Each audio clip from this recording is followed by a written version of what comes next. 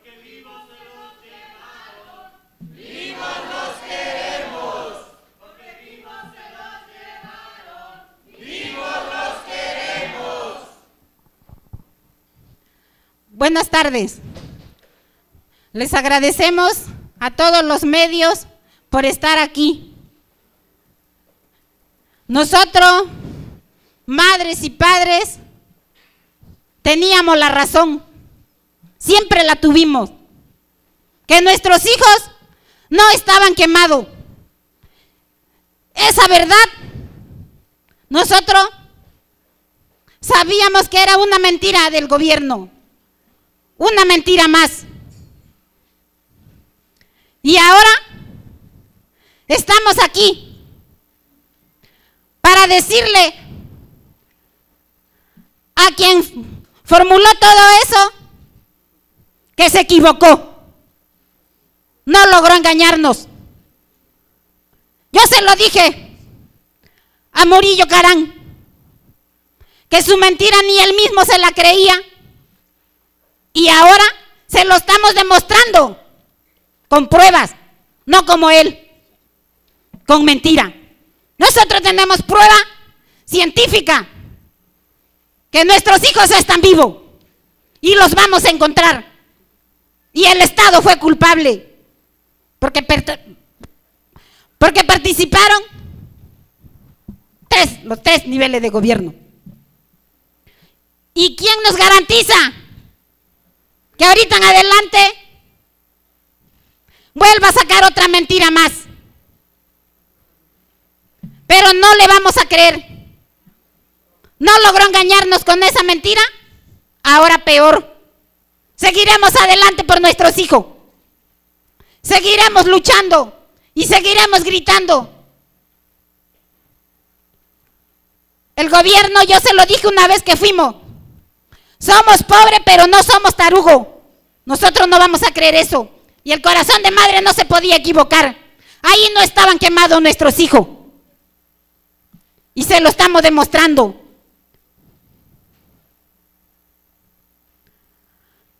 Aunque de ahorita en adelante, espero que saquen la verdad. Como madre y como padre que estamos aquí, queremos la verdad. Ya no queremos mentira. No vamos a aceptar otra mentira más del gobierno, porque se ha dedicado a torturarnos, a destrozarnos el corazón. ¿Qué piensa? ¿Que cuando sacó esa mentira nos sentíamos feos nosotros? Se lo dijimos y él no tenía hijo para sacar eso. Y mire lo que hizo. ¿Y ahora qué le estamos demostrando? Que su teatro, su, su teatro que formó se derrumbó. Su verdad histórica es una mentira histórica. Y seguiremos hasta encontrar a nuestros hijos. Y lucharemos hasta encontrarlos. Gracias.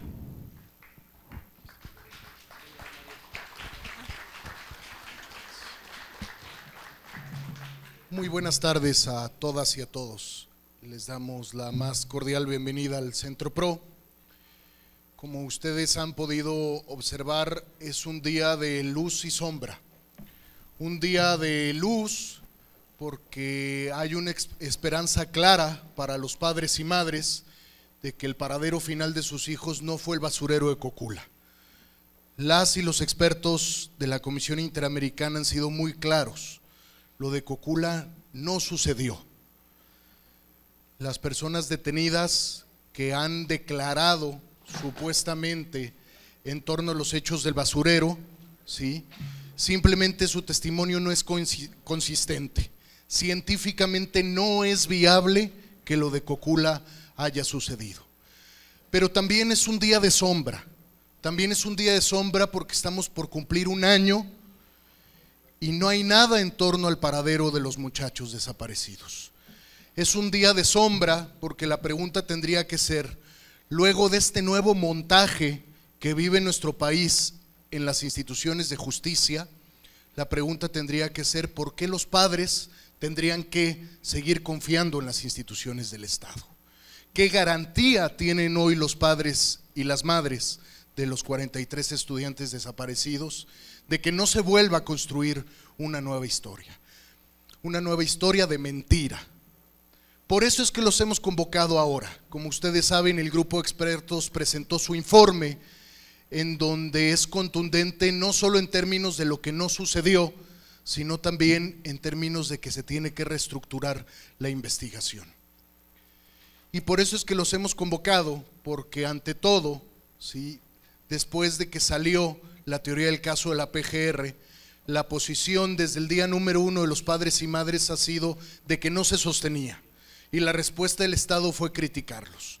Por eso es que hoy tenemos la posición de dignidad y la posición mínima de búsqueda y de justicia. ¿Sí? Les damos la bienvenida a los padres y madres de Ayotzinapa el Comité Estudiantil de la Normal Rural de Ayotzinapa y también las organizaciones que acompañamos a ellos en su búsqueda de verdad y justicia. A continuación vamos a dar el uso de la palabra a Doña María de Jesús.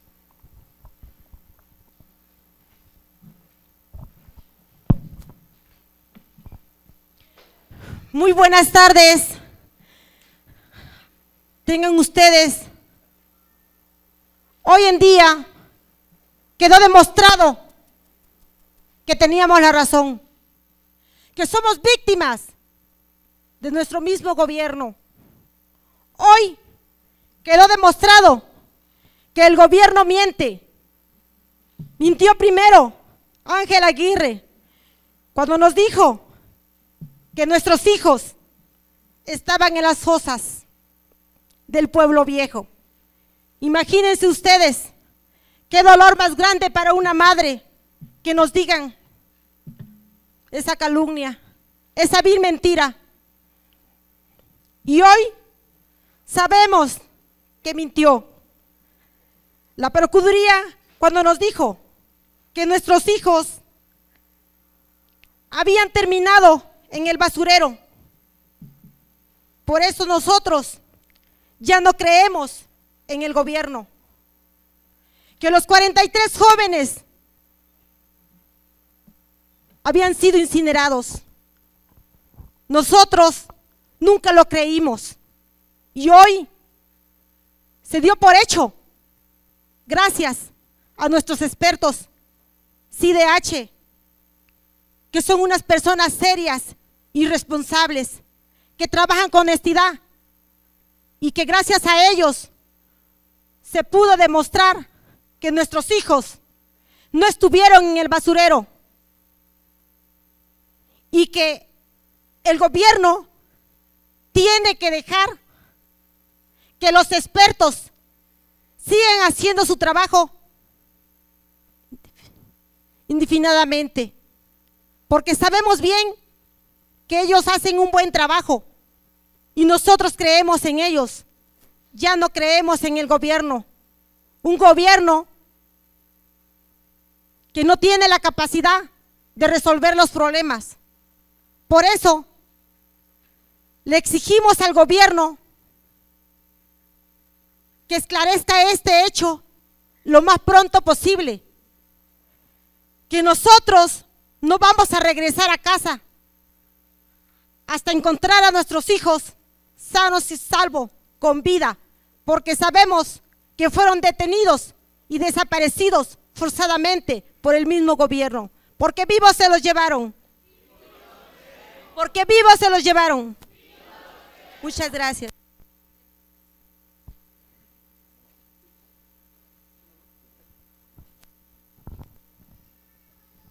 Pues buenas tardes, señores que nos acompañan, compañeros que han estado con nosotros desde hace, desde el día 26 de septiembre. Pues yo soy Emiliano Navarrete Victoriano, padre de José Ángel Navarrete González. ¿Verdad? Nuestros jóvenes que fueron víctimas de este gobierno mexicano. Pues primeramente, ¿verdad? Yo quiero darle las gracias a toda la gente mexicana que tiene corazón, que ha estado todo este tiempo con nosotros, que nos ha dado fuerza para seguir adelante. Y la de otros países que han sentido esta indignación de este gobierno mexicano que ha destrozado nuestro corazón, llevándose a nuestros hijos en contra de su voluntad, forzadamente, inhumanamente y miserablemente. Eso siempre me ha indignado como ser humano, no por ser mexicano. Podía ser de cualquier país, sentiría lo mismo. Les doy las gracias de que no nos han señalado. Al contrario, nos han levantado. Gracias a ustedes estamos aquí, parados, de pie, firmes, para dar con el paradero de nuestros jóvenes. Como ustedes han dado cuenta, han escuchado el informe de nuestros compañeros expertos independientes, que ha sido una vil mentira lo que dijo la PGR, Murillo Caram, de que nuestros jóvenes fueron quemados en el basurero de Cocula. Como se los dijimos siempre, señores, no es que no lo queramos aceptar, es que jamás ha habido evidencias. No podemos aceptar algo que no existe. Son vidas humanas, son jóvenes, inocentes, son nuestros hijos, que les pisotearon su dignidad. No podemos quedarnos callados así de fácil. Ahora que se ha sabido el informe de los expertos independientes, daremos los pasos siguientes nosotros como padres. Desde aquí, si este señor presidente me escucha y nos está viendo, quiero que tenga la dignidad de que de su boca salga, de decir quiero hablar con los padres. Quiero que nos den la cara él directamente. Porque con sus representantes que tiene, ya no podemos estar creyendo. Como lo hizo Murillo Caran, haciendo una vil mentira. ¿Y cómo vamos a creer que esta persona que pusieron no pueda ser igual? Queremos que Él nos dé la cara para que analice, ¿verdad?, este el informe y no solamente analizarlo. Démosle seguimiento y actuemos. Porque nuestros hijos, como ustedes saben, estuvieron todos los niveles de, gobierno en el C4. Estaban siendo monitoreados. Si no fueron quemados ellos ahí, que jamás lo aceptamos porque no había evidencias, ¿a dónde están? ¿Por qué miente este señor Murillo Caran? debe de ser investigado. Queremos que sea investigado esta porquería de ser humano. Yo creo que el nivel que representa en el gobierno no lo hace mejor que yo como ser humano, mejor que ninguno de nosotros como seres humanos.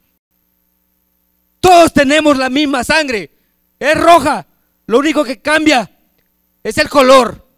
Pero eso no nos hace ser indiferentes a nadie, ni el poder que represente. Como personas que hemos sido agredidas por el gobierno, exigimos, ¿verdad? Una reunión con Enrique Peña Nieto, pero en presencia de nuestros compañeros expertos independientes y que les dé el tiempo indefinido hasta que se esclarezcan las cosas y el gobierno mexicano nos entregue a nuestros hijos.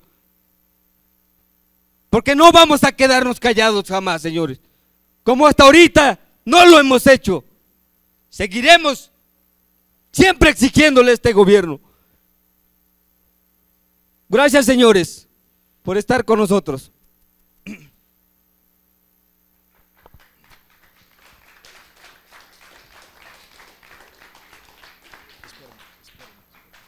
Agradecemos a, don Emiliano y solo para eh, eh, ratificar que las dos peticiones iniciales que ustedes han podido escuchar de los padres y madres, la primera es el, el refrendo del equipo de expertos que ya comentaba doña María de Jesús por tiempo indefinido, hasta que no se determine la verdad, la justicia y sobre todo el paradero de los muchachos. Como ustedes saben, recientemente en su rueda de prensa la señora Procuradora General de la República anunció que el equipo de expertos se quedaría por otra temporada más. Nuestra solicitud es que su permanencia sea indefinida en base a la cláusula 10 del acuerdo de asistencia técnica, hasta en tanto no se dé con el paradero de los muchachos. Como mencionaba don Emiliano, su siguiente solicitud es una reunión directa con el presidente de la República. Como ustedes saben, en el mes de octubre tuvieron ellos un primer encuentro, un primer diálogo con el presidente de la República, en donde se levantó la minuta, en donde todos los puntos están incumplidos. El presidente de la República justo hizo suya la teoría de caso del ex procurador Murillo Karam y de la actual Procuraduría. Entonces los padres y madres consideran que una de sus garantías es que eh, directamente el presidente de la República se comprometa al cumplimiento irrestricto de todas y cada una de las recomendaciones formuladas por el grupo de expertos. A continuación, la señora Cristina hará uso de la voz. Buenas tardes a todos los medios de comunicación. Mi nombre es Cristina Bautista Salvador, soy la mamá de Benjamín Asensio Bautista. Pues ya vamos a más de 11 meses que no sabemos de nuestros hijos, pero sí nos dimos cuenta hoy que lo que declaró Morillo Carán, toda fue mentira. Pues agradecer a todas las organizaciones, las redes sociales, de todo el mundo, de que nos han acompañado durante esos 11 meses, de que están con nosotros y que no nos han dejado solos.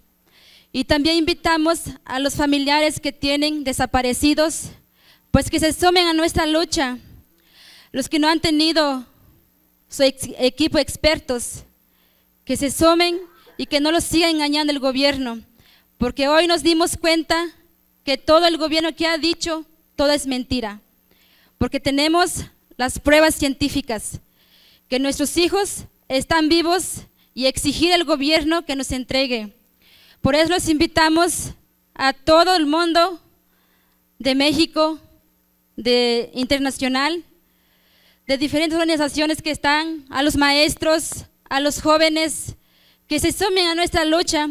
invitamos para el día 26 de septiembre que nos acompañen, ya va a ser un año sin poder abrazar a nuestros hijos, sin poder platicar con uno de ellos. Aquí con los padres de los 43 y con los estudiantes estamos unidos, con nuestros abogados, con nuestros representantes, los voceros. Y así como empezamos, tenemos que terminar. Y así pues les agradezco mucho que nos hayan acompañado esos durante 11 meses y invitamos a que nos acompañen para el día 26. Muchas gracias.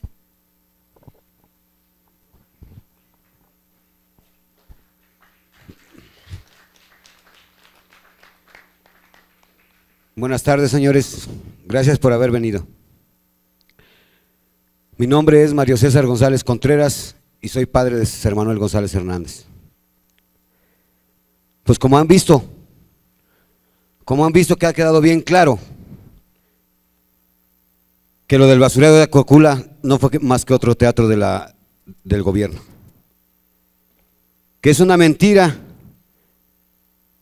que científicamente lo del basurero nunca pasó. Que lo del basurero siempre fue la tortura para los 43 padres de familia. Que siempre estábamos pensando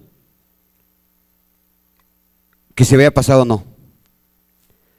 Ahí fue el gran día que contundentemente nuestros expertos otra vez le echamos para abajo sus versiones a la Procuraduría. Y desgraciadamente, el Estado mexicano no nada más le está mintiendo a los 43 padres de familia, sino le está mintiendo a todo México y engañándolo. Y ahí está una clara prueba. Que tenemos que traer expertos de diferentes países y confiar en ellos que nuestros propios científicos mexicanos. Que desgraciadamente se pueden coludir con el, con el Estado para decir mentiras y acabar con familias completas. La pregunta es, ¿a dónde están nuestros hijos? ¿Para dónde se llevaron a nuestros hijos? Ya es justo y exigimos, porque ya no vamos a pedir, ya vamos a exigir rotundamente que nos entreguen a los hijos, porque ahora estamos más, con más fuerza y con más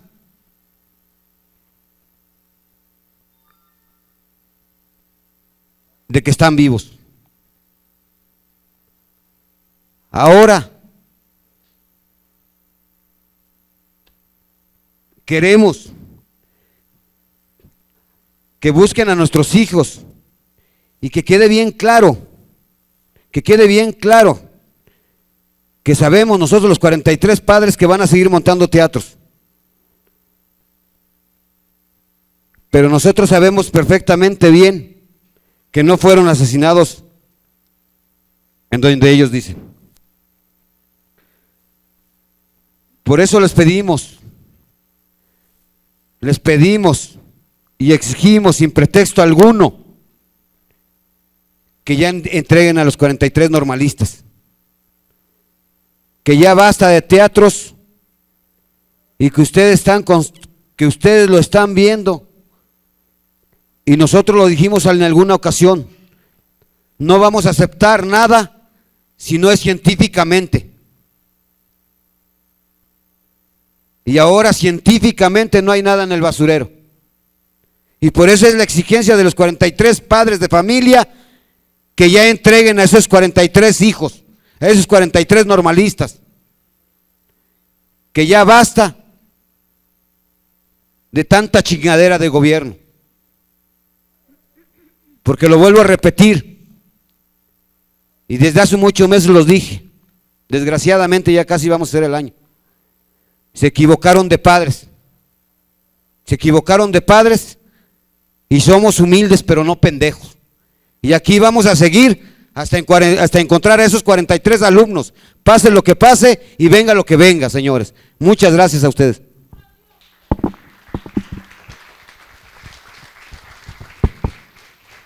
Muchas gracias, don Mario. Una de las principales recomendaciones del grupo de expertos, luego de asegurar que científicamente no es viable lo que afirmó el gobierno que sucedió en el basurero de Cocula, es justo que se generen estrategias de búsqueda serias y dar con el paradero de los estudiantes, que es justo la tercera demanda legítima que nos expresa don Mario. A continuación, don Felipe de la Cruz. Buenas tardes a todos. Primero que nada, el agradecimiento por estar aquí con nosotros, porque sabemos que vamos a tener la oportunidad de abrir las ventanas al mundo para que sea informado de la realidad que hoy nosotros confirmamos nada más en estos 11 largos meses la demanda y la exigencia de la presentación con vida de los 43 normalistas que desapareció el Estado de manera forzada en Iguala. Hoy el teatro montado por el gobierno de México se ha derrumbado. La verdad histórica de Murillo Caran quedó por los suelos para pasar a ser la mentira histórica de todo un país que hoy vemos cómo poco a poco está levantando la voz por todos los ángulos del territorio mexicano. Enrique Peña Nieto pensó que con su discurso en octubre los padres de familia se iban a sentar a esperar el milagro de la justicia mexicana y se equivocó. Ustedes pueden ver a casi un año nos mantenemos todos unidos, la fuerza, la unidad y la hermandad se ha demostrado y aquí estamos dignamente para exigirle a Enrique Peña Nieto que vuelva a darnos la cara, como lo hizo en octubre, para mentirnos de manera descarada. Antes de este, del 10 de este mes, le exigimos que nos reciba porque es su obligación como servidor público para atender las demandas del pueblo. No le vamos a pedir, le vamos a exigir que abra las puertas de Los Pinos porque es nuestra casa de los mexicanos. Si él fue nombrado representante del país, ha fallado, ha defraudado al pueblo de México.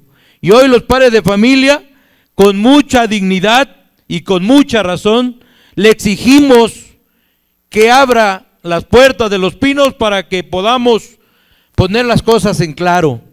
Mintió, mintió su gabinete, el de seguridad, y todo eso ha venido ocasionando que en este tiempo los padres de familia vivamos un tiempo de tormento psicológico, emocional y en todos los aspectos. Pero eso no nos va a derrotar, sino todo lo contrario, nos llena de dignidad y de coraje. Hoy exigimos también que se tenga que reestructurar las investigaciones, que se investigue, porque hoy tenemos claro quiénes fueron los que participaron. Hoy vemos cómo la complicidad del gobierno de México ha quedado al descubierto en la intención de decir que el ejército mexicano no participó en los hechos de Iguala. Hoy, con la respuesta que nos dan los, los expertos de la Comisión Interamericana de Derechos Humanos, queda demostrada la participación de la Policía Federal, del Ejército Mexicano, de la Policía Municipal, de la Policía Ministerial, del Estatal, de todos los cuerpos policíacos porque desde el primer momento en que los jóvenes salen de Iguala, el C4 registra e informa a todas las fuerzas del orden público que los jóvenes iban para Iguala. Se tiene que reabrir las investigaciones, se tiene que reeditar de todos los ángulos y principalmente a todos aquellos que montaron este teatro de mentiras para que el pueblo creyera que los jóvenes habían sido asesinados y cremados en el río de Cocula. No podemos quedarnos callados, no podemos quedarnos sentados cuando vemos la infamia, la desvergüenza de estos disque funcionarios públicos tratando de engañar a todo el pueblo de México en el sentido de que teníamos que superar el dolor. Decía Vicente Fox en su ignorancia, como quiera tienen más hijos, ya váyanse con ellos y dejen esto por la paz. Para nosotros los hijos son los más importantes y vamos a llegar hasta las últimas consecuencias. Entonces exigimos a la procuradora, si piensa que con su discurso atarantador de hace rato, diciendo que los expertos, su informe es muy valioso para la investigación, y entonces, ¿por qué después dice que lo van a analizar? Y si ven que es bueno, lo van a incluir en la investigación. Exigimos que este informe entregado por los expertos sea tomado en cuenta y forme parte de la investigación para poder dar con los asesinos. Sabemos de antemano que están coludidos todos los que forman este órgano de gobierno en el país, porque hoy no podemos creer que fue la delincuencia organizada. En ningún momento mencionaron los expertos la participación directa del crimen organizado. Si participaron, bueno, fue porque ya estaban de acuerdo entre ellos, pero para nosotros sigue siendo un crimen de Estado y el Estado tiene que pagar las consecuencias de sus mentiras de sus errores. Y esa hoy es la demanda primordial y exigente de los padres de familia. Aquí habemos todos los que hemos estado trabajando y caminando juntos para llegar a la verdad y a la justicia. Y creo y estamos seguros que estamos cerca de encontrar la verdad. No ocurrió de lo de Cocula. Entonces los jóvenes están vivos. Exigimos que nos los entreguen ya. No nos explicamos aún el hecho, pero sí sabemos que no han llegado en casi un año. Y si Peña Nieto piensa que después del año nos vamos a derrotar, le queremos anticipar que de por sí se la sentenciamos en octubre, que si no era capaz y ya lo demostró, se ve su incapacidad y ineptitud para gobernar este país. Que si no lograba entregarnos a los jóvenes, también se tenía que ir pero a nosotros no nos, no nos importan los cambios de gabinete. A lo, lo que nos importa es que nos entreguen a los jóvenes, que hoy ni una mentira más, porque cada mentira que hagan a los padres se la están haciendo al pueblo de México. Y que el 26 de, de este mes, si no sabemos respuesta de los jóvenes ya, porque le exigimos que antes del 10 tenga que estarnos recibiendo no se lo estamos pidiendo, se lo estamos exigiendo. Es obligación, lo decíamos anteriormente. Y si no es así, el 26 convocamos a la sociedad entera, al país y al mundo, para que todos juntos participemos en la 16 ABA Jornada Nacional Global e Internacional. El ayuno de los padres de familia comenzará el 23 de septiembre para concluir el 25 y el 26, el 26 estar todos prestos para la marcha donde el corazón de este país tiene que sentir la fuerza del pueblo, la exigencia, la justicia, la verdad y castigo a los culpables. Necesitamos urgentemente encontrar a los jóvenes y que sea castigado Murillo Caran, eh, Galindo, Cerón de Lucio y todo el cuerpo de seguridad que montaron este teatro donde hicieron creer al pueblo de México, trataron de hacer creer al pueblo de México que los jóvenes habían sido asesinados y cremados en el río de Cocula. No existió, entonces, ¿dónde están? Que nos los entreguen. Porque vivos se los llevaron. Esa es la exigencia de los padres de familia. Que se reestructure la investigación encaminando a la verdad y a la justicia de este movimiento. Gracias. Muchas gracias, eh, don Felipe.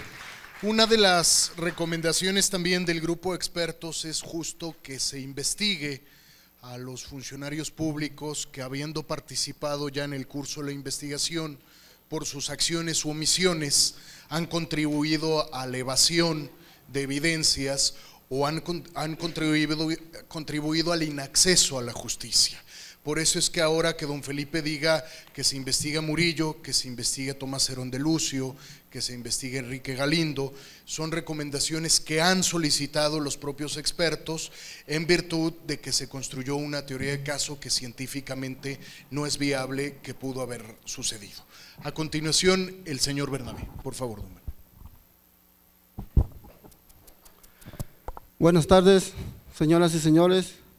Mi nombre es Bernabé Abraham y mi hijo Adán Abraham de la Cruz. Pues como ya han oído la pues lo que dijeron los expertos de lo que sucedió en, en el basurero de Cocula, realmente yo pues estaba yo, tenía yo la razón, porque yo estuve dos días después que fueron ahí los del este, gobierno y realmente vimos pues que no había nada. Y realmente pues hoy en día vemos que este gobierno pues nos ha estado engañando, ¿verdad? Nosotros como campesinos,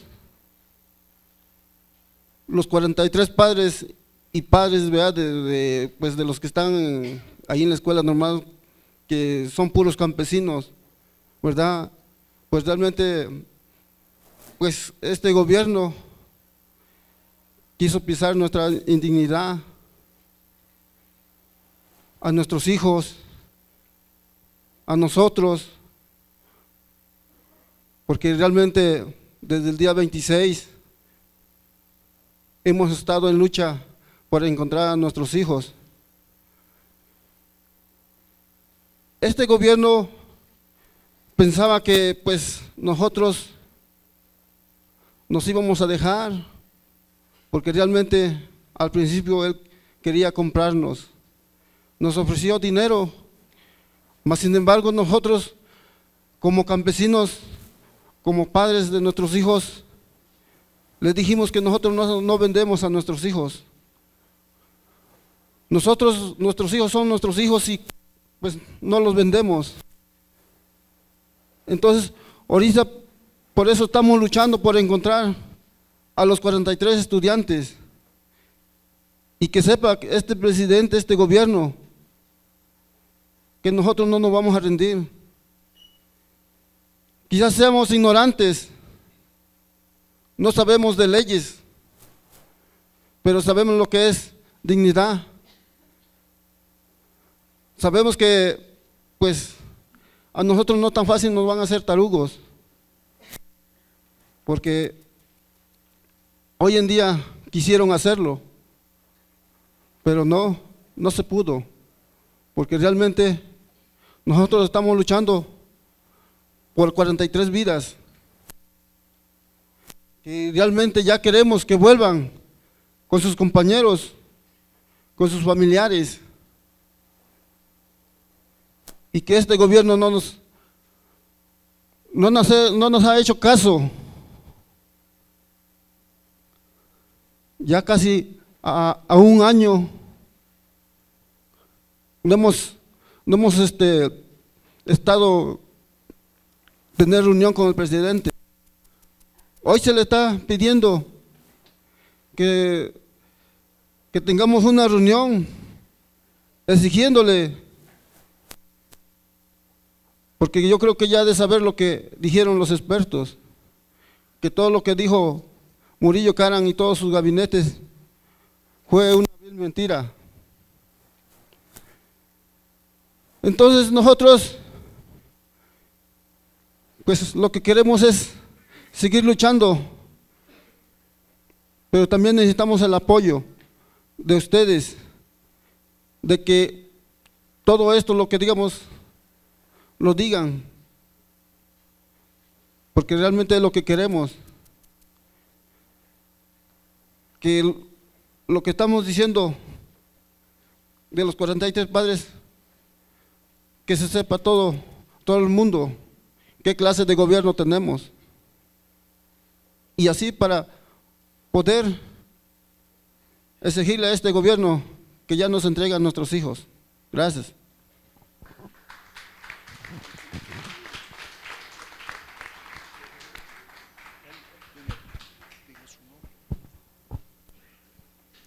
Buenas tardes.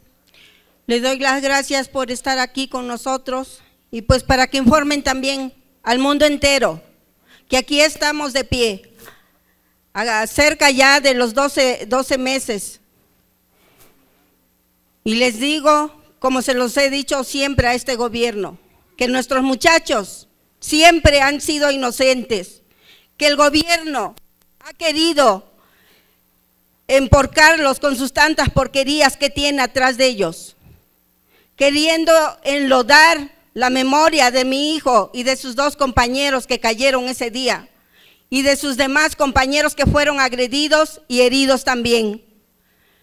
Al decir que nuestros muchachos estaban colundidos con la delincuencia y que eran de los rojos, no señores, siempre lo he dicho que ellos eran inocentes, que simplemente los tomó el gobierno para tapar sus porquerías, para seguir haciendo tantas cosas que nosotros no nos dábamos cuenta por estar diciendo que ellos trabajaban bien. Pues ahí estamos viendo qué bien trabajan, matando, masacrando alumnos, desapareciendo a cuanta gente se les da la gana, simplemente por decir que es el presidente. Se siente dueño de todos ellos, pues no es dueño de nadie. Ni, ni, ni siquiera nosotros somos dueños de nuestros propios hijos, los tenemos prestados. Yo siempre lo he dicho, que estos muchachitos jamás iban directamente a la, a la ciudad de Iguala, que fueron mandados a la ciudad de Chilpancingo para botear y tomar camiones, y que también de ahí fueron monitoreados por este mismo gobierno. Y todavía dice que los muchachos llegaron a Iguala a cometer atrocidades. Pues ahí lo están viendo. ¿Quién dice la verdad y quién dice la mentira? Nosotros siempre tenemos la verdad acá en la mano. ¿Qué es lo que ha hecho el gobierno? Siempre está diciendo mentiras, lo cual se las hemos tirado al piso. Y estas que ha dicho los expertos, pues ahí está.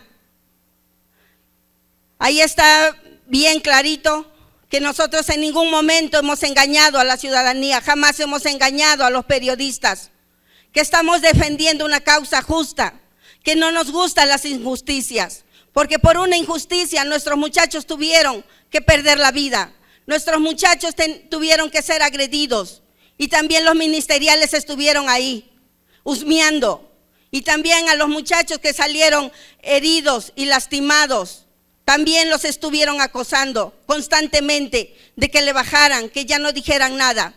Pues ahí están también los muchachitos defendiéndose, porque tienen derecho, igual que nuestros hijos masacrados, tenían derecho de seguir viviendo y tenían ganas de ser unos grandes maestros, lo cual este desgraciado gobierno no se los permitió. Prefirió masacrar a nuestros muchachos, También he dicho que no va a cerrar esta escuela normal, porque ahí estamos y hay más alumnos que necesitan seguir instruyéndose, porque también tienen derecho y sueños como nuestros hijos, nuestros tres muchachitos, y tienen que cumplir esos sueños por los caídos y por los lesionados. Y ahí vamos a estar, hombro a hombro, codo a codo, defendiéndolos. Y si es necesario con nuestra propia vida, así lo vamos a hacer. Pero que sepa el gobierno que no nos vamos a callar, que vamos a seguir en lucha hasta ver de vuelta a los 43 muchachos. Es lo que necesitamos, porque es lo que nos mantiene vivos, la búsqueda de estos muchachitos. Que si el gobierno quiere callarnos, pues solamente matándonos. Y estamos dispuestos a todo eso. Y aquí estamos. No tengo miedo, porque el peor miedo me lo quitó matándome a mi hijo. Y aquí estoy, señores. No tengo miedo, lo que tengan que hacer, que lo hagan. Pero sí les exigimos como ciudadanos, como padres de estos muchachos, que queremos justicia. Y si no lo tenemos de este presidente que pusimos como presidente ese día, cuando se dijo que si no servía para ser presidente que se lo demandáramos, se lo estamos demandando a 11, cerca de 12 meses, y él como si nada. Queremos esa audiencia con él para que nos dé la cara, porque no ha cumplido ninguno de sus 10 puntos. Y también de esa gente que tuvo participación en ese día de la masacre, porque todo eso fue planeado. Aquí no hay que los muchachitos tuvieron la culpa. Aquí fueron gentes del gobierno que estuvieron involucrados desde el primer momento que los vieron, porque sabían que eran estudiantes y aún así no les importó. Los masacraron, los venadearon, quedaron destrozados esos camiones. Hay un quinto camión que la PGR jamás lo tomó en cuenta, que no les importa, a nosotros nos importa, porque este, este chofer ha dicho mentiras. Yo le digo a este chofer que si tiene hijos, que diga la verdad, que no diga mentiras, que ese camión se les descompuso en el camino, que tenga los suficientes pantalones y de ponerse enfrente y decir sí, Ahí estuve cuando está diciendo las cosas al revés. Nuestros hijos no tuvieron ninguna culpa. Sí, sí tienen culpa, pero de querer prepararse, de querer ser alguien en la vida. No quieren ser unos asesinos, no quieren ser unos asaltantes, ni tampoco quieren ser unos narcotraficantes. Quieren ser una persona limpia para servirle al pueblo. Porque si Lucio Cabañas estuvo estudiando en esta escuela, y fue, hizo pueblo, trabajó para el pueblo y dio su vida por el pueblo.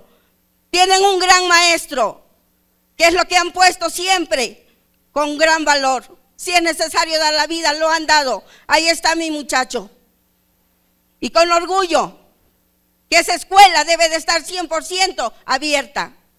Y un apoyo para todos ellos, señores. Gracias.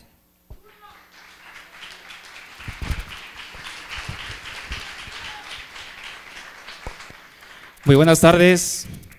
Mi nombre es Ulises Gutiérrez, hermano de Aldo Gutiérrez Solano, herido en Iguala. Quiero informar y demostrar, hoy está demostrado que los muchachos son inocentes porque no iban a boicotear ningún acto político, ni tampoco iban armados Hoy se ha demostrado que ellos siguen siendo inocentes porque ellos son estudiantes, son estudiantes de primer año. Y en ningún momento ellos son culpables de lo que pasó. Aldo recibió un disparo en la cabeza. ese día 26 fue el primer estudiante herido. Y desde hace 11 meses, él se encuentra postrado en una cama, ¿sí?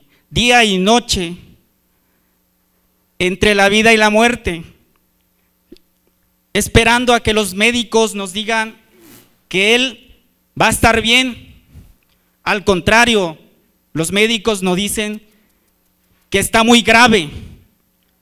muy delicado. No sabemos qué va a pasar con él. Al igual, en ese segundo ataque, también está herido Edgar Andrés. Fue también uno de los estudiantes que recibió un disparo en el rostro. Desde aquel entonces, desde aquella noche, nosotros como familia hemos estado día y noche con ellos. ¿sí? Nunca lo vamos a dejar solo y no lo vamos a dejar solo porque son nuestros familiares y vamos a luchar hasta donde Dios diga, hasta donde se pueda. Nos duele mucho ver a ellos, a nuestros familiares postrados en la cama, cómo sufren. ¿Por qué? Por lo que pasó ese día 26 por policías municipales. Le han destrozado la vida. Nosotros como familiares exigimos de que se le dé una atención especializada, prioritaria, porque ellos lo necesitan en este momento, en este momento que están sufriendo. Necesitan esa atención. Exigimos también al gobierno de que no nos deje solo, que también necesitamos el apoyo. Nuestros familiares están viajando semanalmente. No tenemos esos recursos económicos para pagar un hospital ni para el transporte desde Guerrero a esta ciudad. Exigimos al gobierno que atienda a esas familias que también lo necesitan.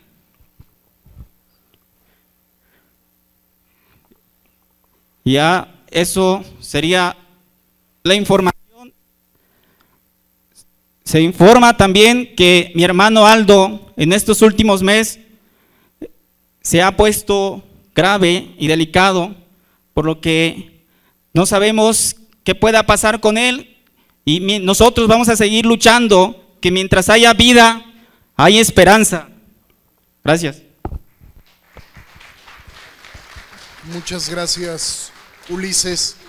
Es importante reiterar estas dos participaciones de doña Berta y, de don Ulises, porque el caso de Ayotzinapa tiene la centralidad en los 43 estudiantes eh, desaparecidos pero también hubo seis personas ejecutadas extrajudicialmente, tres de ellos estudiantes, uno es el hijo justo de doña Berta, y también hubo 21 personas eh, lesionadas, heridas, como consecuencia directa de los hechos. Y uno de ellos es justo el hermano eh, de Ulises. Las recomendaciones que hoy formula el grupo de expertos es que si en el caso de los 43 estudiantes desaparecidos, si no hay justicia y verdad en términos de los hallazgos del grupo de expertos, en el caso de las personas ejecutadas y de los heridos, la impunidad es total. Por eso es que el grupo de expertos recomienda para el caso particular de ellos que se tienen que esclarecer los hechos y la verdad de lo sucedido en su conjunto. Y finalmente reiterar que otro de los aportes de este informe del grupo de expertos es la explicación en torno a los hechos en su integralidad, los distintos eventos que conforman los hechos. Lo que hoy dilucidan los expertos de la Comisión Interamericana es que no hubo ningún enfrentamiento armado, que no hay ningún elemento de vincular a los estudiantes y a la normal con los rojos, que de alguna manera los estudiantes no iban a boicotear ningún evento público del ayuntamiento de Iguala, sino que la única razón de, ir a Iguala es que no pudieron hacer la toma de camiones que estaban esperando en Chilpancingo, justo porque había eh, Policía Federal, y desde que ellos se mueven de Chilpancingo a Iguala, tuvieron un monitoreo policial. Por eso es que el llamado que hace el grupo de expertos es, cuando dicen que hay que reestructurar la investigación, es que se tienen que investigar autoridades estatales y federales que por participación directa o indirecta pueden tener algún tipo de responsabilidad penal vinculada con los hechos. Los padres y madres han sido reiterativos en la investigación del ejército. Hoy el grupo de expertos mencionan que por lo menos en dos de los eventos que forman parte de la integralidad de los hechos hubo personal de inteligencia militar. En otros eventos hubo policía federal, en otros hubo policía ministerial de la Procuraduría Local de Guerrero y en otros hubo policía preventiva estatal. Por lo tanto, se tiene que investigar. No se trata de una acción aislada, sino coordinada, es como lo han dicho los expertos. A continuación vamos a dar el uso de la palabra a doña Carmelita. Sí, buenas tardes. Mi nombre es Carmen Mendoza, soy mamá de Jorge Aníbal Cruz Mendoza. Bueno, yo también quiero decirle a este gobierno que el que ya se haya quedado acostumbrado a matar y a desaparecer a cualquier persona, no quiere decir que iba a ser lo mismo con nosotros. Esta vez, el informe de los peritos, de los expertos independientes, nos ha dejado con más fuerza, con más fortaleza, para seguir exigiendo la presentación con vida de nuestros hijos. Porque ahora sabemos que el gobierno tiene a nuestros hijos en sus manos y que no los tiene que entregar. Que nosotros no nos vamos a quedar callados que nos los entregue a los 43 desaparecidos, nuestros hijos, y a los miles de desaparecidos que tiene. Porque esta vez no va a ser lo mismo de antes. Anteriormente la gente se quedaba con miedo porque ya la amenazaban, porque pues querían callarlos con cualquier cosa, pero esta vez no va a ser así. No los tiene que entregar a como dé lugar. Y si no puede, pues exigimos la destitución, que se largue, pero antes que nos entreguen nuestros hijos. La destitución por traición a la patria, por tantas estupideces que ha estado haciendo. Y exigimos pues la presentación con vida, pero ya, porque son nuestros hijos. En ningún momento nosotros hemos sido, al menos yo no le debo nada a ese imbécil. No le debo nada. Él no me ha dado nada. Lo poco que tengo, porque de ilegal me fui a Estados Unidos y eso es lo que le he dado a mis hijos. Por eso a este gobierno yo no le debo nada y no tiene derecho a llevarse a mi hijo y a ninguno de nuestros hijos, de mis compañeros. Y por eso exijo que no los tiene que entregar ya, porque están en sus manos de ellos. Y bueno, es todo lo que yo quiero decir y muchísimas gracias porque tengo mucho coraje.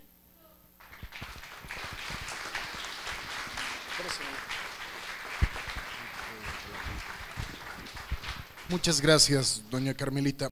A continuación, va a fijar su posicionamiento en el contexto del informe del grupo de expertos, la normal rural de Ayotzinapa. Como ustedes saben, los padres de familia, las madres de familia y la normal han emprendido esta lucha de manera conjunta. El grupo de expertos ha determinado que son víctimas los estudiantes desaparecidos, los estudiantes ejecutados, los estudiantes heridos, lesionados, pero también ha determinado como víctimas indirectas a los padres y madres de familia y también ha determinado como víctimas a la propia normal rural de Ayotzinapa y a los estudiantes de la normal rural. Entonces, en ese sentido, le damos la palabra a quien dirige el comité estudiantil, Arturo Hernández.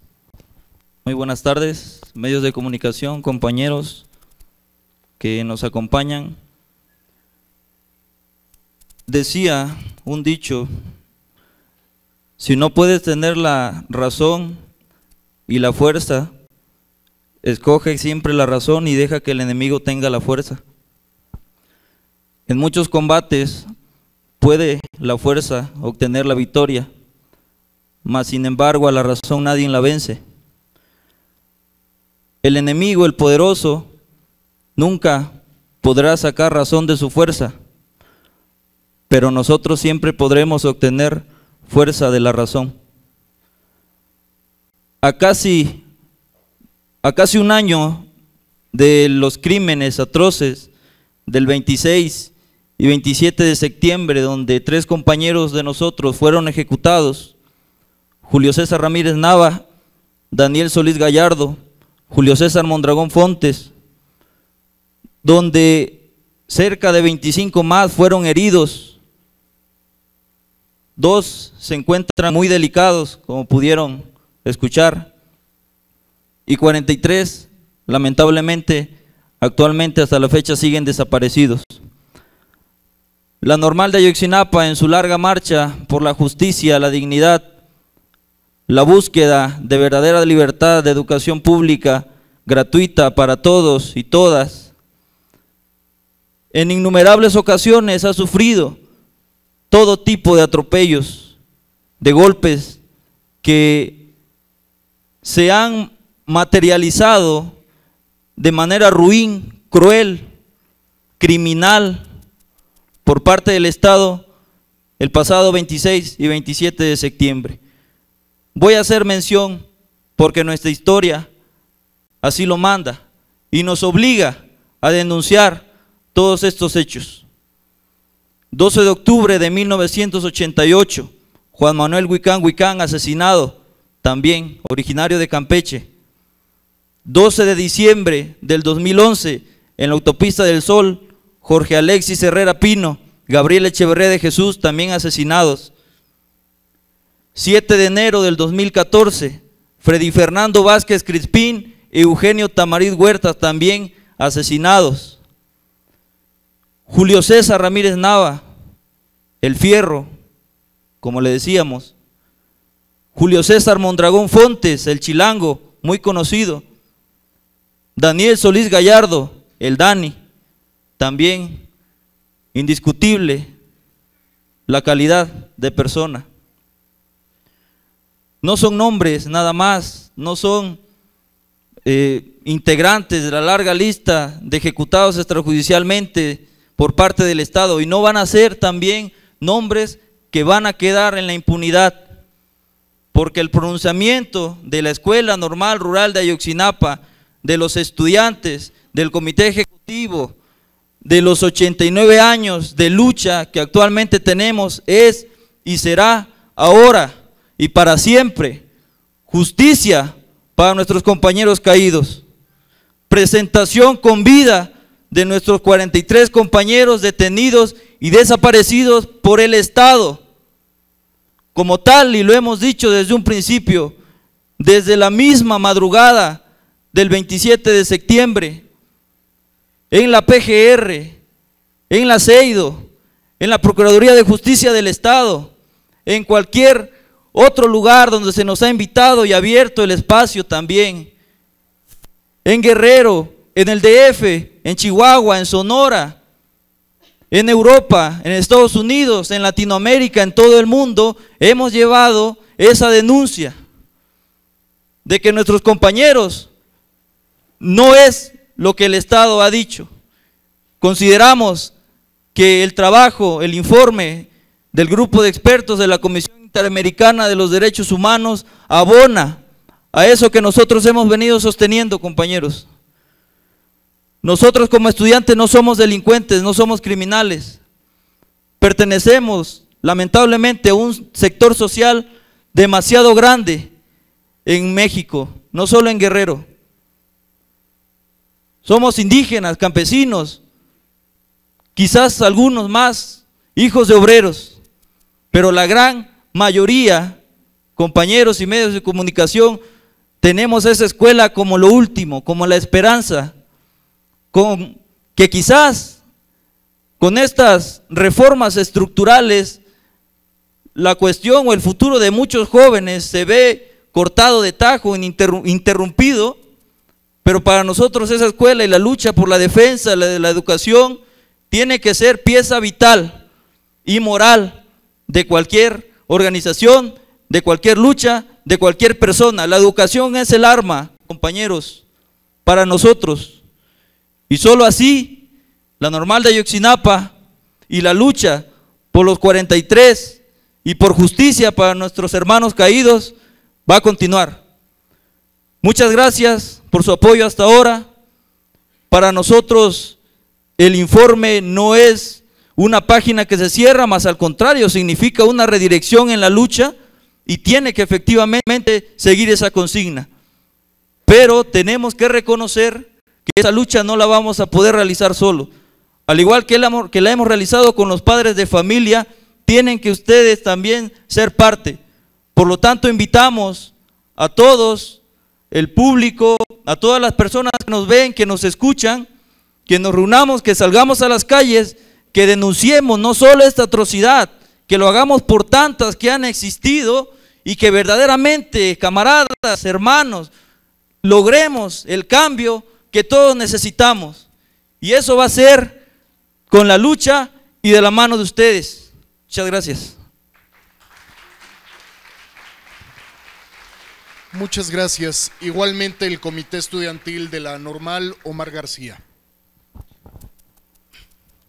Como dicen por ahí, disculpen las molestias, pero no les creemos.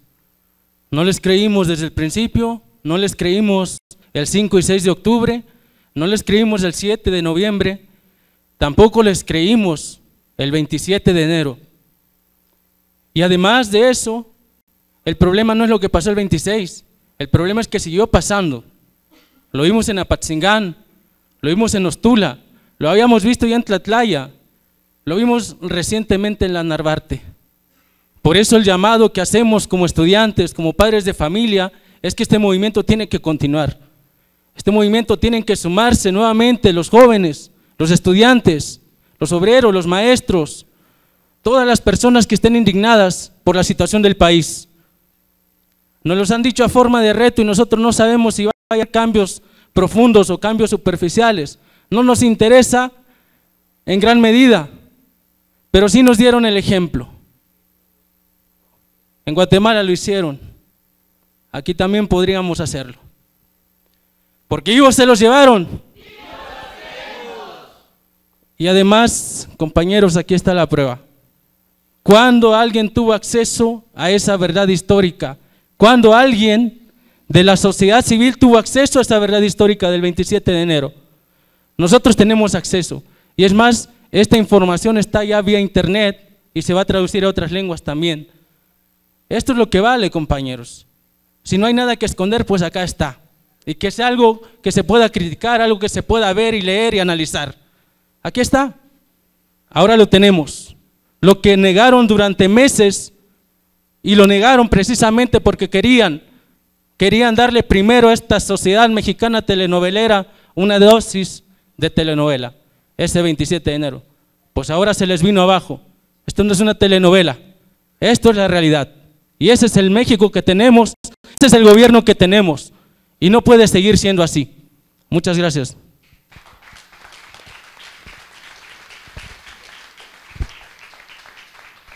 Muchas gracias a los estudiantes de la Normal Rural. A continuación vamos a dar el uso de la palabra a Vidulfo Rosales, abogado del Centro de Derechos Humanos de la Montaña Tlachinolan, que como ustedes saben es una de las organizaciones acompañantes de los estudiantes. Por favor. Buenas tardes. Reiterar el agradecimiento a los medios de comunicación, a las organizaciones que nos acompañan.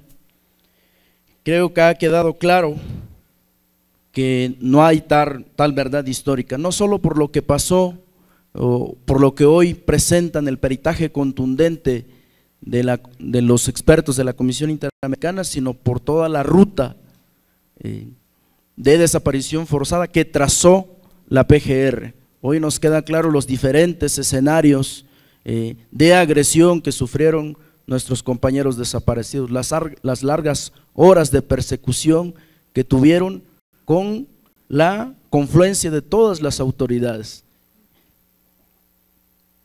También nos queda claro que no todos los autobuses habían sido mencionados por la PGR. Hay un autobús problema, el cual no se ha dilucidado qué pasó, qué está pasando, no está claro con eso y que nos pueda dar grandes pautas en el esclarecimiento de los hechos. También queda confirmado hoy día la participación activa, efectiva del ejército en la escena del crimen en sus diferentes niveles que habría también que, investigar. Y como ya lo decíamos, la participación y la confluencia de, de distintas corporaciones policíacas, empezando por la policía municipal, policía ministerial, policía estatal, policía federal, e insistimos, y el ejército. Es decir, que los hechos de Iguala se hicieron de manera coordinada, estuvo fluyendo todo el tiempo la información del C4, no pudo ser un hecho aislado, solamente perpetrado por eh, la Policía Municipal de Guerreros Unidos, sino con la participación eh, de un conjunto de autoridades que todo el tiempo supieron de la presencia de nuestros compañeros. Por eso para nosotros hoy en día la respuesta que nos da la PGR es insuficiente, es limitada y es ambigua. Primero porque no hace suyo el peritaje que presentaron de manera contundente por un profesional, por un experto, que presentaron los, eh, el grupo de expertos eh, independientes. Lejos de hacer suyo ese peritaje, eh, está diciendo que va a ser otro peritaje. Nosotros desde aquí ahorita decimos, los padres de familia, los estudiantes, solicitamos y decimos que ya hay bastantes peritajes contundentes. Además están los peritos argentinos ahí que son garantía de imparcialidad, de independencia. El propio eh, perito que, que, utilizaron los compañeros, eh, los expertos del GI, puede ser retomado y puede ser suyo ese peritaje que es contundente, es profesional y es científico. Por otra parte, nos preocupa también que el informe en su conjunto, como ya se ha dicho, no forme parte de la averiguación previa. Hoy haya solamente eh, una expresión de que va a ser analizado y que se va a ver qué parte de eso se va a incorporar a la investigación. Entonces esa es una contradicción porque si por un lado se está diciendo que se aceptan las recomendaciones en sus términos, no entendemos por qué no aceptar y por qué no incorporar el informe en su totalidad a la averiguación previa. También nos preocupa la omisión que hizo la Procuraduría General de la República en su conferencia de prensa al no referirse a la responsabilidad que tuvieron otras autoridades, otros cuerpos policíacos y otras cadenas de mandos que están más arriba, que estuvieron al tanto desde el C4, que fueron informados en el C4 de lo que estaba ocurriendo, y de otras personas que obstruyeron la justicia, desviaron la investigación, fabricaron pruebas, construyeron rutas de investigación distinta. Desde nuestro punto de vista, y es una exigencia que hacemos desde esta mesa, eh, estamos pidiendo que sean investigados todas y cada una de estas autoridades, sean procesadas, todas, todas aquellas personas que obstaculizaron, que omitieron, que no se apersonaron a la escena del crimen cuando era su obligación para prevenir mayores violaciones. Esa sería nuestra eh, participación y como ya lo dijeron los compañeros, el informe eh, no concluye aquí, no concluye la situación con el informe, el informe abre un camino para exigir verdad, para exigir justicia, para exigir una reestructuración completa de la investigación y por ello solicitamos a todas las organizaciones sociales, a todas las organizaciones de derechos humanos, a todos los desaparecidos, a caminar de manera conjunta, porque además el informe también hace referencia a cuestiones estructurales respecto de los desaparecidos y de las falencias que tiene nuestro sistema de justicia mexicano. Gracias.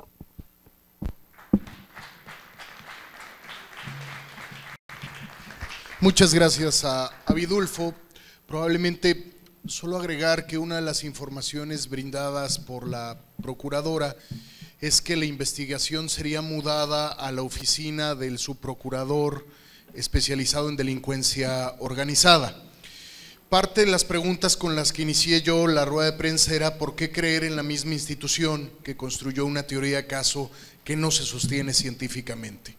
Y por eso es que la demanda de los padres es ver directamente al presidente, porque consideramos que hay decisiones de Estado que se tendrían que tomar justo para asegurar una investigación independiente, imparcial y autónoma. No basta con que la investigación se le asigne directamente al, al subprocurador, estamos hablando de la misma institución. Es más, hoy en la rueda de prensa de la procuradora pudieron estar funcionarios directamente vinculados con la historia de la investigación y justo con la construcción de esta teoría sobre el basurero de Cocula, que es insostenible científicamente. Iremos a dos últimas participaciones para pasar a una ronda de preguntas y respuestas. Iremos con otra mamá de uno de los compañeros heridos, la señora Marbella.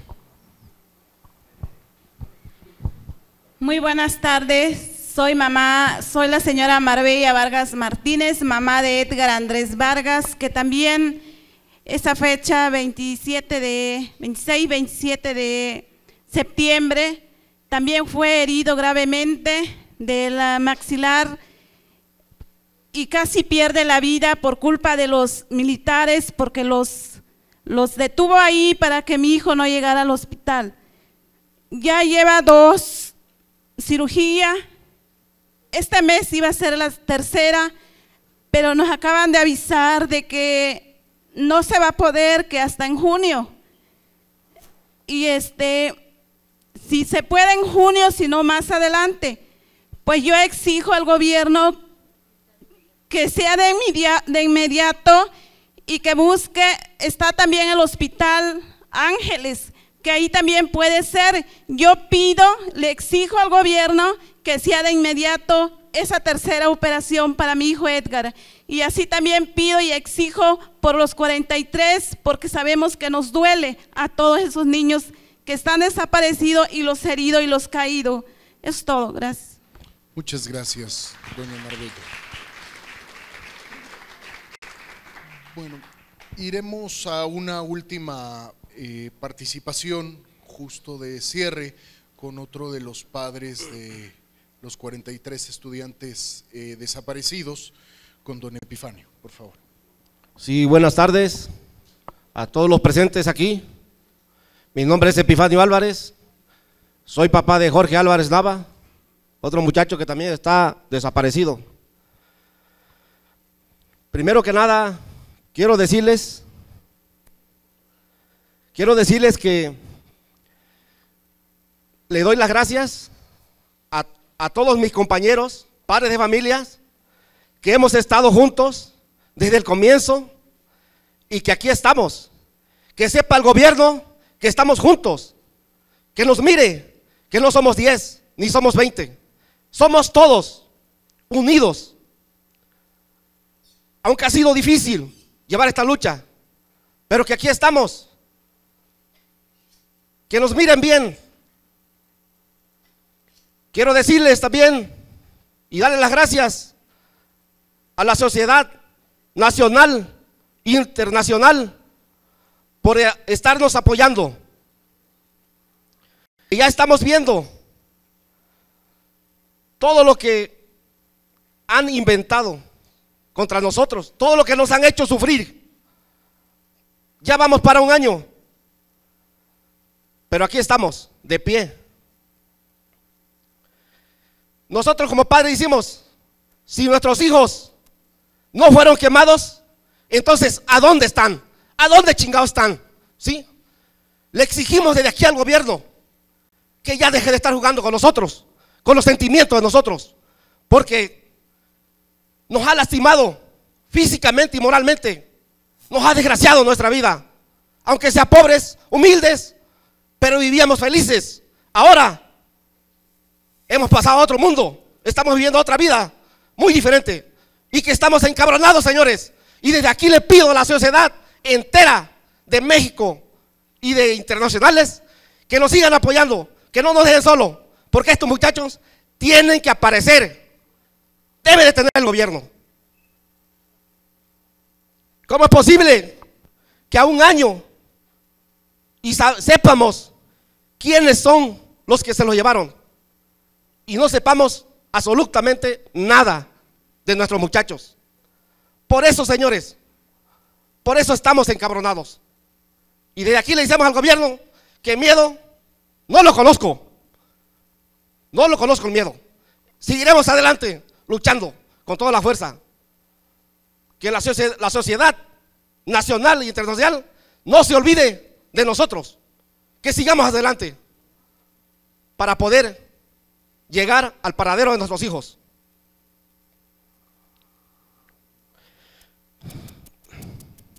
¿Cómo es posible que ahorita que vi el informe de la señora Araceli Gómez, procuradora, que quiere volver a otra vez más a hacer este peritaje más. Eso no es posible, señores. No estamos jugando. Esto es una cosa seria que debemos de respetar. Por lo tanto, para mí y para todos los padres, creemos en los expertos. Y vamos a seguir adelante. Y nuestra confianza para ellos. Y queremos también la búsqueda inmediata. No queremos esperar más tiempo. Que nos digan de aquí a una semana, de aquí a un mes. No, señores. Queremos búsqueda inmediata ya de nuestros hijos. Quiero darle las gracias a todos los presentes, a todo el mundo en general. Ahora más que nunca estamos más seguros que nuestros hijos están vivos y que le echaremos todos los kilos, todas las ganas para rescatarlos. Con esto, señores, concluye la rueda de prensa y muchas gracias.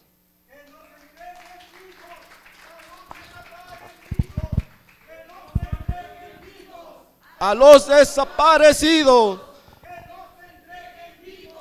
A los desaparecidos. Porque vivos se los llevaron. Porque vivos se los llevaron. Hasta la victoria siempre, compañeros. Vamos, hay preguntas y respuestas. Vamos a pasar a una sola ronda de preguntas y respuestas. Los padres y madres tienen que viajar hoy al estado de Guerrero. Entonces les pedimos, van a ser cinco preguntas y respuestas. Les pedimos que se puedan identificar en nombre y en medio.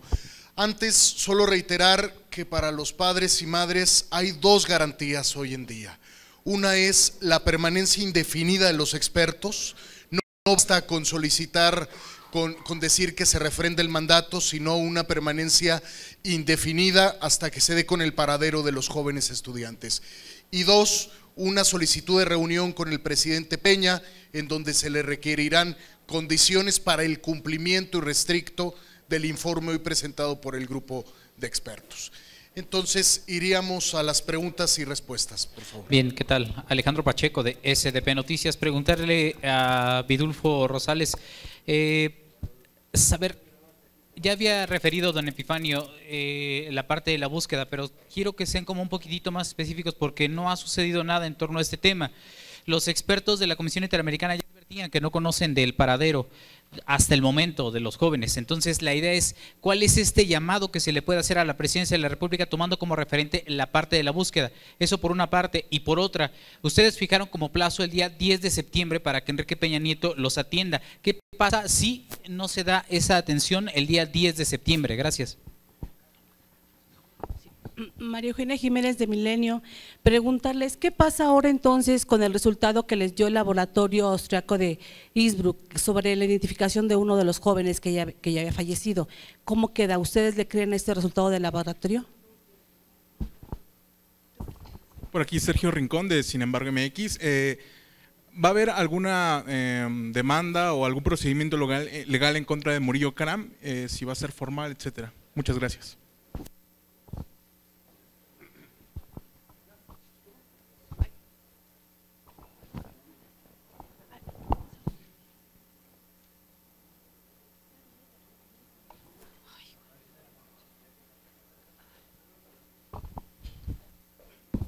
Buena tarde. Flor Goche de Desinformémonos. Quisiera saber, eh, bueno, si pudieras, Vidulfo, por favor, hacernos una síntesis de cuál es la situación jurídica del caso, saber pues los delitos que están eh, contenidos en el expediente y cómo es que se está investigando, eh, eh, los procesados y si hay sentencias al respecto. También saber, bueno, hoy lo confirmaron los, el grupo de expertos, que se trató efectivamente de una desaparición forzada, saber si se está investigando como tal en el expediente y bueno, por otro lado, ¿qué tendría que pasar o cómo se tendría que recomponer la investigación en este sentido a la luz de, de lo que hoy eh, informaron los expertos del grupo? Gracias. Marta Durán de Huerta de Radio Nederland. Es conocido que en Guerrero hay crimen organizado, hay narcotráfico. Es conocido la vinculación de las autoridades a todos los niveles con ese crimen organizado. ¿Han ustedes hecho una lista o un diagnóstico de esa complicidad para entregarlo a los expertos o a las instancias encargadas de investigar? Bueno, quejarse con el verdugo de, mm, es eh, medio absurdo, pero bueno, haría falta esa, esa lista. Hola, Jorge Villalpando, Eje Central. Eh, ustedes han dicho que eh, están exigiendo justicia eh, por las investigaciones anteriores de Murillo Caram. específicamente, ¿van a hacer alguna denuncia en contra de Murillo por, por esta, este desaseo que hizo la PGR en esta investigación y que al final pues no, no es verdad lo que, lo que Murillo Caram fue lo que dijo?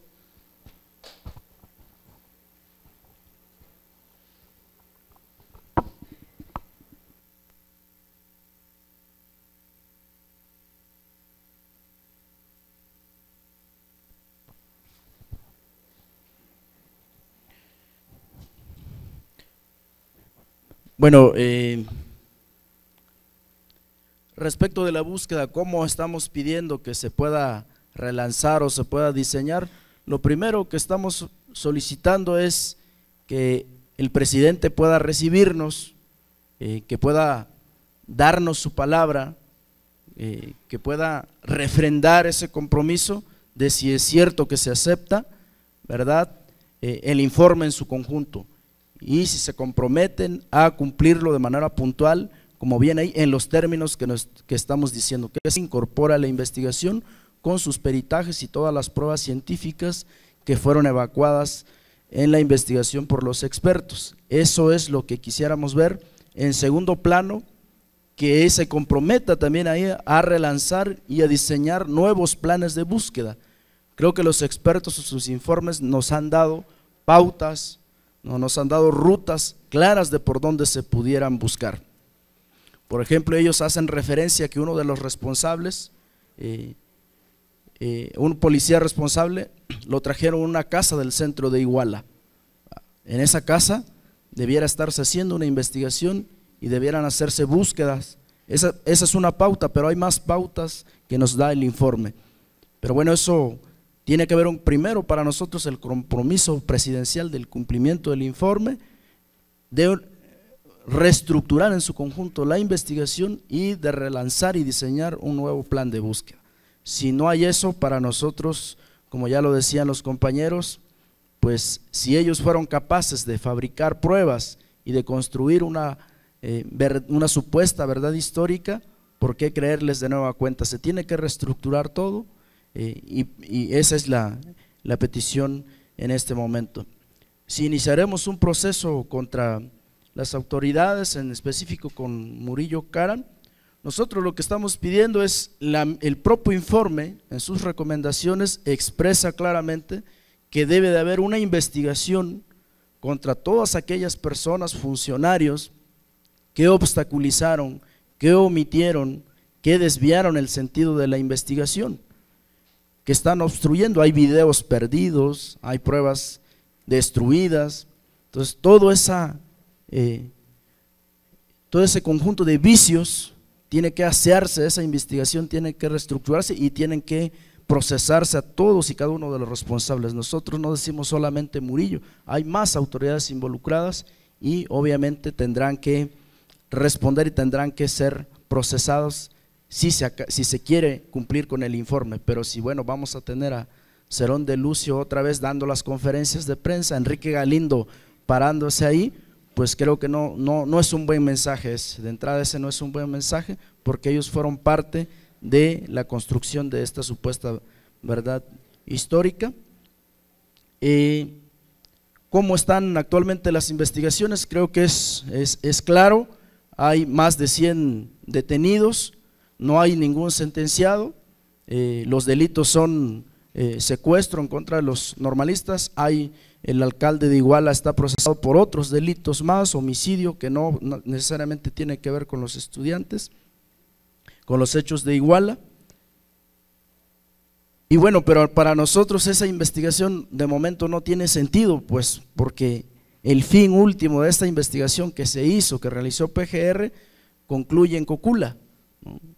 Y si en este momento esa conclusión no es tal, si de momento esa conclusión ha quedado totalmente destruida, entonces por eso hablamos de una reestructuración, porque puede haber muchos detenidos, que es fundamental que enfrenten la investigación. Nosotros no estamos diciendo que no, pero eh, es fundamental también que se abran nuevas líneas de investigación, que se reestructure, porque solo en esa medida nosotros, los padres de familia, los estudiantes, vamos a poder obtener verdad y vamos a poder llegar a la justicia. De otra forma, va a ser totalmente imposible.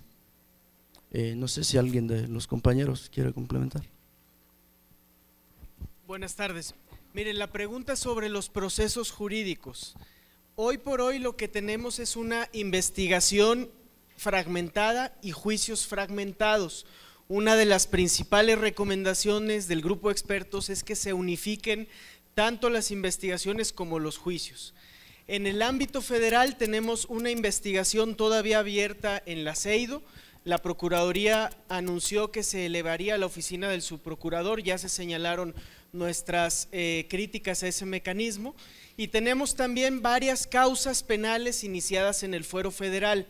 Esas causas penales federales están por el delito de secuestro.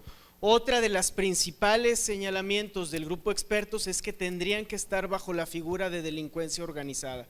Al mismo tiempo, en el estado de Guerrero hay varias causas penales, varios juicios iniciados por los delitos de homicidio en contra de eh, algunos de los normalistas que fueron ejecutados. El grupo de expertos ha sido muy claro en decir que las causas tienen que iniciarse por el delito de desaparición forzada, que tienen que acumularse y que además hay delitos que ni siquiera están perseguidos. Hablamos de la tentativa de homicidio en contra de Aldo Gutiérrez y otros normalistas lesionados. Hablamos de casos de tortura, como en el de Julio César Mondragón Fontes. Una diversidad de delitos, incluidos la obstrucción a la justicia, que hasta la fecha no han sido esclarecidos. La Procuraduría habla de más de 120 personas detenidas y procesadas. En el análisis que nosotros hacemos del expediente es muy importante aclarar que estas 120 personas no están siendo todas procesadas por delitos contra los normalistas. ¿sí? El universo de personas a las que se le acusa de delitos contra los normalistas está hoy en día entre 60 y 70 personas. El resto tienen que ver con la estructura de los llamados Guerreros Unidos y sobre todo con mandos medios.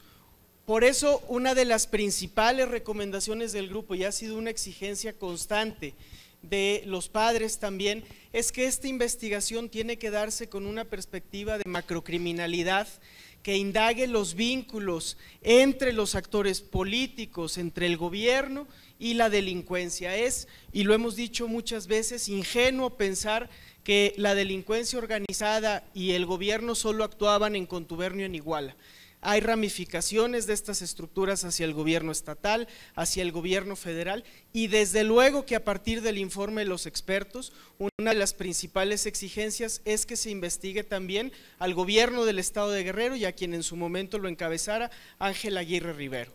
Eh, tienen que agotarse todas esas líneas de investigación que terminen de dilucidar el esquema de corrupción política que da pie a que estructuras de la delincuencia se empoderen tanto y gobiernen regiones enteras del país. Eso no ha ocurrido en el expediente y tiene que hacerse.